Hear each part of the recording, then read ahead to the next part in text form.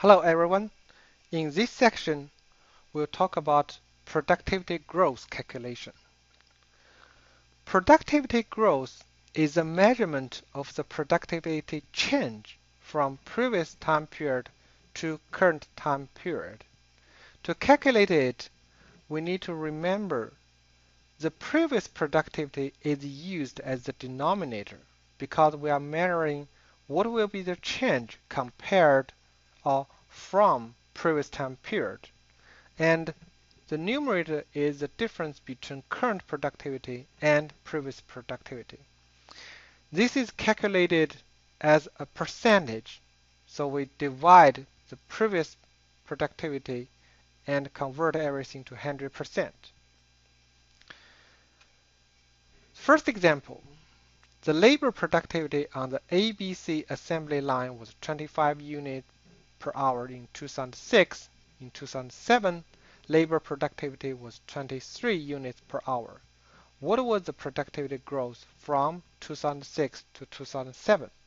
So we have two years, 2006 and 2007. And the more closer time will be the current time. So the year 2006 is previous year and the year 2007 is current year and we have the corresponding two productivities. We can substitute them into the formula and get the productivity growth number. Now some of you may be surprised to see a negative productivity. You may think productivity growth? How could a growth be negative? But remember we mentioned in previous slide, we said productivity growth basically is a measure of the productivity change. We didn't say it's a measure of productivity increasement. So the change can be positive or negative. It depends on what happened in reality.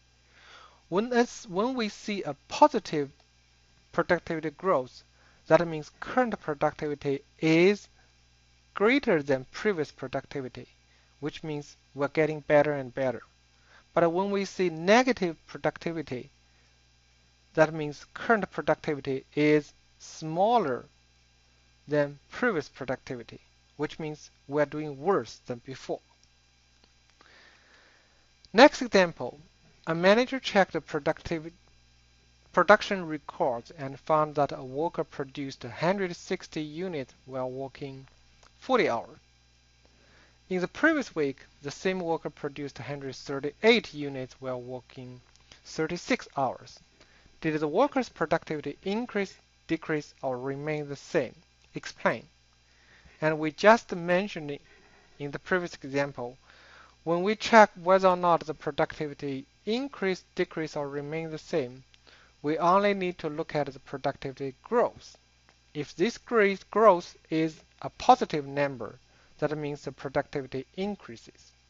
If this number is negative number, that means productivity actually decreased. If productivity remains the same, then the corresponding productivity growth will be zero.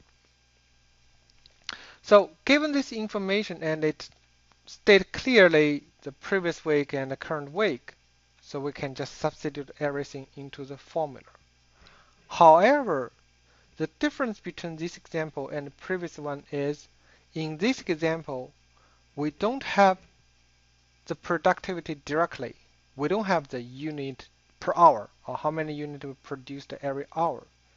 We need to go ahead to calculate the productivity for each week we cannot use the 160 unit and 138 unit as productivity.